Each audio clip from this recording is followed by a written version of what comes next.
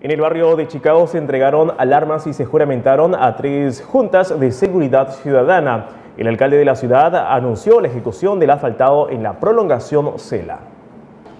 El barrio de Chicago cuenta con tres nuevas juntas vecinales de seguridad ciudadana para continuar su lucha contra la delincuencia.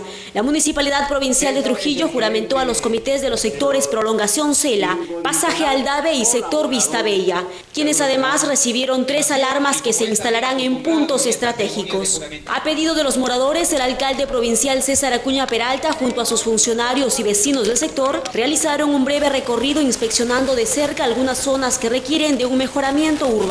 Uno de los requerimientos de los pobladores fue la canalización definitiva de este conducto de aguas servidas colapsado hace varios años en el pasaje Aldave. Sobre la paralización del proyecto de asfaltado de la prolongación CELA, el alcalde provincial indicó que empezarán con la elaboración del expediente técnico para que la pista se ejecute a inicios del próximo año. Y veo que hay una, una parte de, la, CELA que falta hacer su pista.